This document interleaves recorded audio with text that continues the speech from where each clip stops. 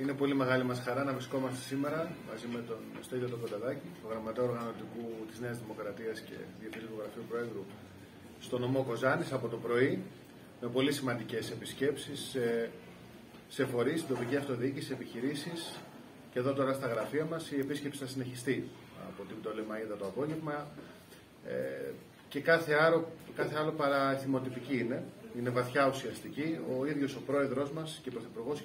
Μητσοτάκης δίνει ξεχωριστή σημασία στη Δυτική Μακεδονία, στο νομό. Ε, υπάρχει μετά από πάρα πολλά χρόνια, μετά από δεκαετίες, ένα συγκεκριμένο σχέδιο για την περιοχή, το οποίο αρχίζει και υλοποιείται.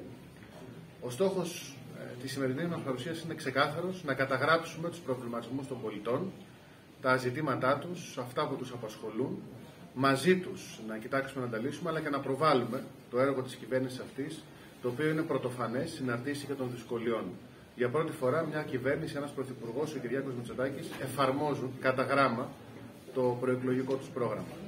Είμαστε πάρα πολύ περήφανοι γι' αυτό και θέλουμε όμως αυτοχρόνω να ξέρουν οι πολίτες ότι όλα γίνονται για τη βελτίωση της καθημερινότητάς τους. Είμαστε στο πλευρό τους, είμαστε όλοι μαζί για μια καλύτερη Ελλάδα. Σας ευχαριστώ πολύ.